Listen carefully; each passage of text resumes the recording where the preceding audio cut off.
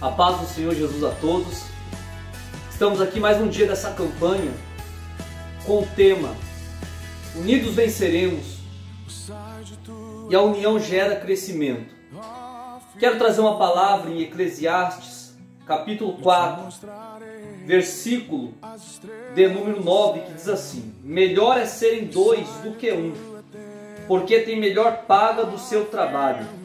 Porque se um cair, o outro levanta o seu companheiro. Mas ai do que estiver sozinho, pois caindo não haverá outro que o levante.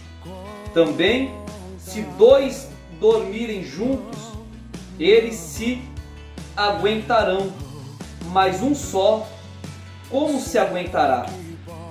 E diz assim, ó, versículo 12: E se alguém prevalecer contra um, os dois lhe resistirão, e o cordão de três dobras não se quebrará tão fácil.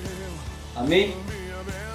Aqui está bem claro e bem explicado, dizendo que a união ela gera a vitória.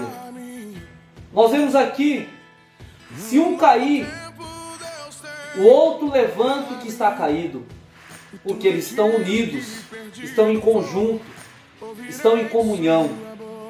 Mesmo que você seja derrotado em alguma batalha que você enfrentou na sua vida, se você tiver união, você pode ter certeza que você pode perder uma batalha, mas você não perde uma guerra.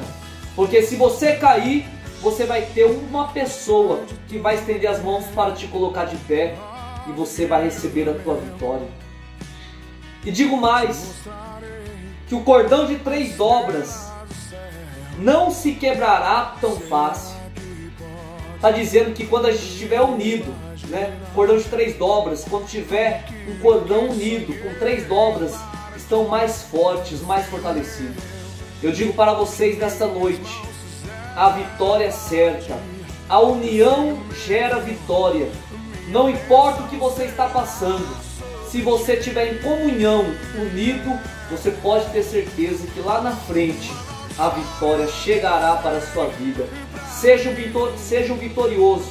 Você é um vitorioso, você é uma vitoriosa. Permaneça unido que a vitória é certa em nome de Jesus. Amém? Deus abençoe a todos. Se inscreva no canal. Já ganhamos mais dois inscritos. E eu creio que com esse vídeo aí nós vamos aumentar o número de inscritos. Amém? Só falta você se inscrever, amém? Botão, botão vermelho aí embaixo vai fazer você se inscrever no canal e receber as notificações dessa campanha, amém? Até amanhã, Deus abençoe a todos.